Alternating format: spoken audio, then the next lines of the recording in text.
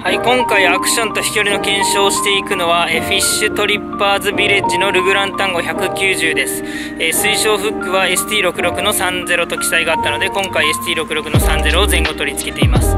これで検証していこうと思います。はいではタックルの紹介をしていきます。この大ペン図鑑ではアクションや飛距離に誤差が出ないように全て共通のタックルを使用しています。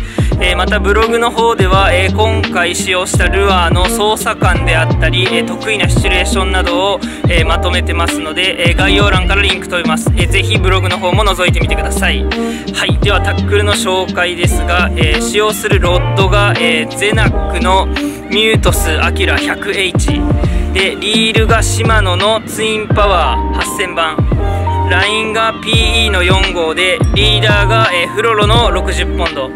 で先端にこのようにパワースイベルがついています。これで検証していきます。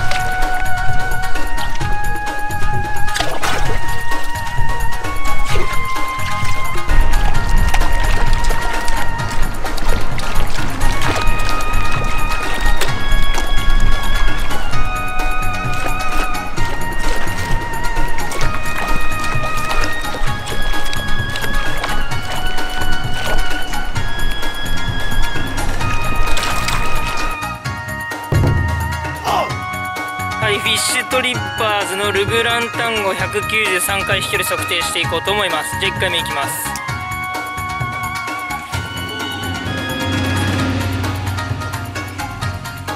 はい1回目飛距離 64m です。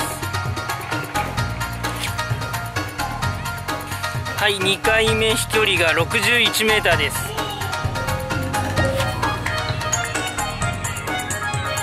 はい3回目飛距離が 64m です。